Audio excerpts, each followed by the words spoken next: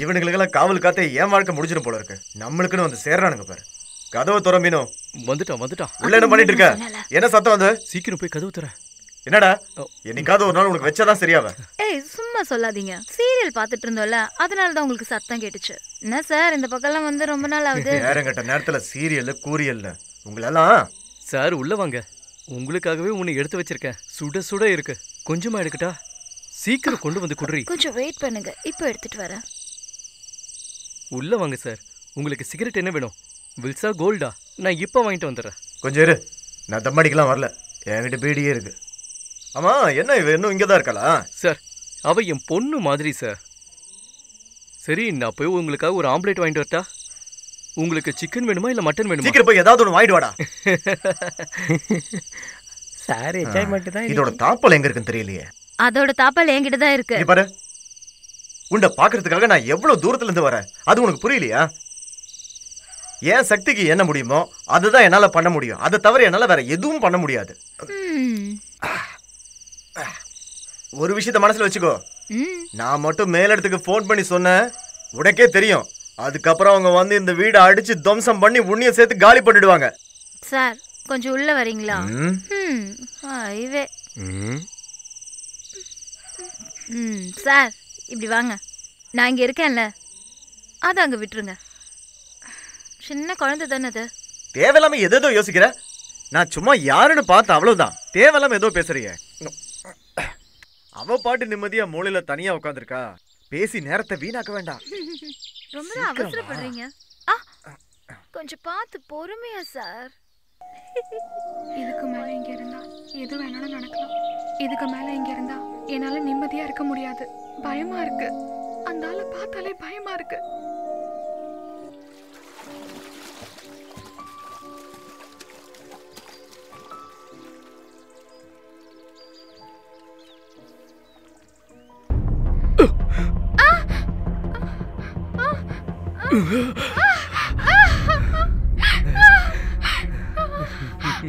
இந்த மாமனை பார்த்து பயந்துட்டியா கண்ணு?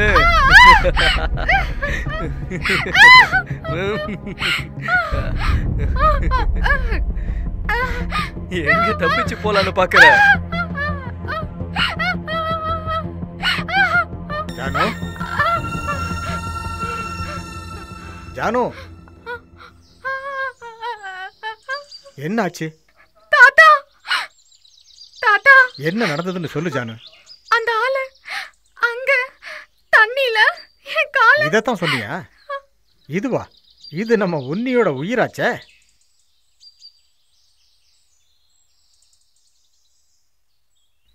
அப்பா.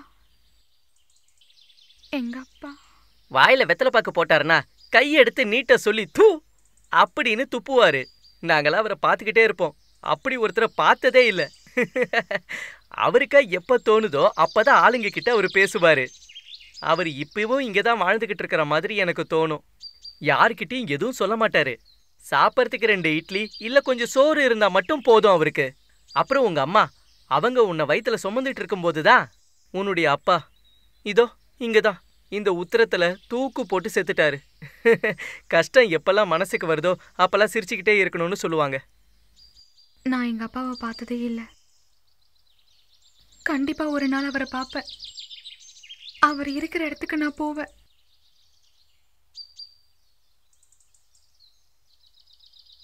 செத்து போனது இவளோட அப்பான்னு யாரால தான் உறுதியா சொல்ல முடியும்? ம் யார் வேணாலும் எப்ப வேணாலும் எப்படி வேணாலும் மாறுவாங்க. ஆனா உடம்புக்கு முடியாம வந்துடுச்சுன்னா? இவரு இந்த வீட்ல வேலைக்காரன் எங்க அப்பா யாருன்னு எங்க அம்மா ஒரு தடவை கூட என்கிட்ட சொன்னதில்ல. ஆனா இந்த இடத்துக்கு வராம என்னால ஒரு நாள் கூட இருக்க. முடியாது. ஜானு அழாதம்மா. அழாதடா செல்லும். ஜானு. மதிப்புக்குரிய பிரசிடெண்ட்டுக்கும் கட்சி தலைவருக்கும் ஆ, பிரசிடெண்ட்டுக்கும் அப்புறம் கமிட்டிக்கும் இப்போ வரப்போகிற பௌர்ணமி அன்னைக்கு டிசம்பர் ரெண்டு ரெண்டாயிரத்தி ஒம்பது எனக்கு எழுபது வயசு பிறக்க போகுது. பிறந்த நாள் கொண்டாட்டம் என்பது பெரிய விஷயம்லாம் இல்ல. எல்லாரையும் ஒன்னா சேர்த்து வச்சு கொண்டாடணும்னு ஆசைப்படுறேன். கஷ்டப்படுத்துறேன்னு நினைக்க கூடாது. முடிஞ்சவங்க கண்டிப்பா எல்லாரும் வரணும்.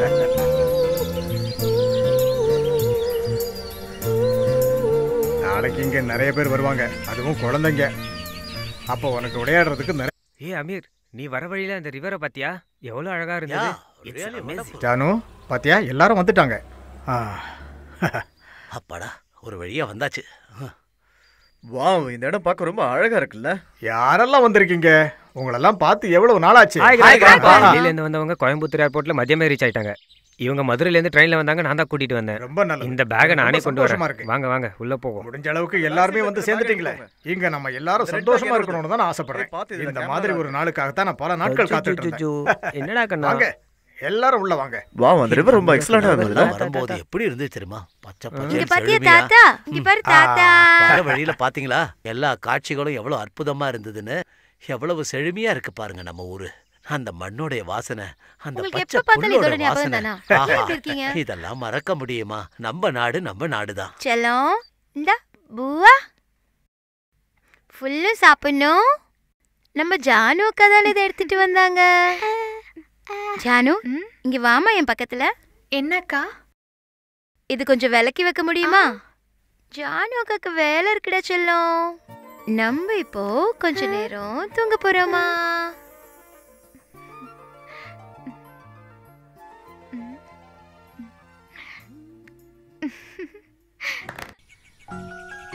என்ன பண்ற? அந்த பூவை கொஞ்சம் கொடு. நல்லா இருக்குல்ல? ஓ வாட்டர் கலர் காம்பினேஷன் ஆஹா இங்க எவ்வளோ பூக்கள் இருக்குல்ல? இந்த இடத்துல பூக்கள் பறவைகள் அந்த மாதிரி நிறைய இருக்கு. ஆமா நம்ம ஏதாச்சும் பண்டிகைக்கு தானே பூவெல்லாம் போடுவோம். தாத்தாவோட பிறந்த நாள் நமக்கு ஒரு பண்டிகை மாதிரி தானே? அதுதான். தாத்தா? ஜானு? ஜானு? ஆ தாத்தா? ம். என் பிறந்த நாள் அதுவுமா எல்லாருக்கும் துணி எடுத்து கொடுத்து நான் சந்தோஷப்படுத்திட்டேன். உனக்கு மட்டும் இந்த தாத்தா எதுவுமே கொடுக்கலையே. எனக்கு எதுவும் வேண்டாம். அப்படி என்னால பண்ணாம இருக்க தாத்தா முடியாது. நாங்க பூவெல்லாம் போட்டிருக்கோம். ஓ அப்படியா? ரொம்ப நல்லது. நான் வந்து பார்க்குறேன் இதில் பாவாடையும் ஜாக்கெட்டும் இருக்கு. வாங்கிக்க. இது ஜானுவுக்காக கொலுசு வாங்கியிருக்கேன். போட்டுக்க. நான் இதை இப்ப போட மாட்டேன். திறந்து பார்க்கவும் மாட்டேன். இன்னைக்கு நான் இத போட்டா எல்லாம் இத பத்தி தான் பேசுவாங்க. தாத்தாவை தான் கிண்டல் பண்ணுவாங்க. நான் இத அப்புறமா போட்டுக்கிறேன். சரி. அப்புறம் இது என்னன்னு தெரியுமா? செருப்பு. ஆ கையை காட்டு. இதுவும் உனக்காகத்தான். இதுவும் தேவைப்படும். தாத்தா. ம்? ஹாப்பி பர்த்டே தேங்க்யூ ஆ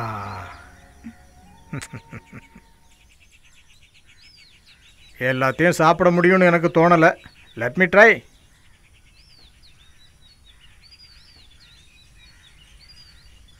ஜானு அக்கா ஏன் நம்ம கூட உட்காந்து சாப்பிடல?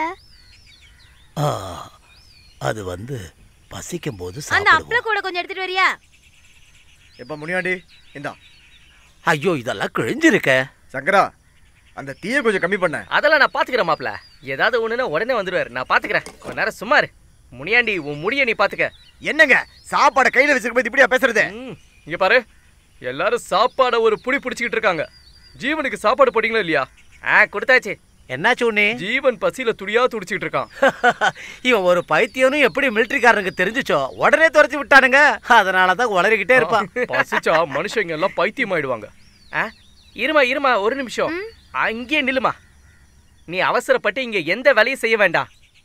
சாப்பாடு சாப்பிட்ற இடத்துக்கு நீ போகக்கூடாதுன்னு மாதவனோட குடும்பத்துக்காரங்க சொல்லியிருக்காங்க. இங்க சமையல் கட்டிலே நீ நின்னா போதும். நேரம் வரும்போது என்ன தேவையோ அதை கொடுப்போம். அதை கொடு.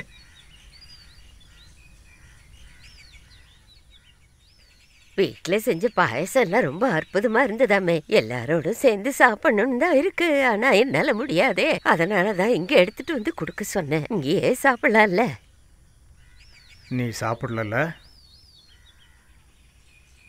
ஜானு உனக்கு பசிக்கலையே அடிச்சலாம்.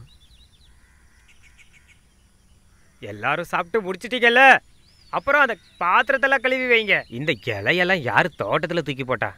ஜானு இந்த பொண்ணு எங்க போனா? ஆ ஆ. சாப்பிடு ஜானு.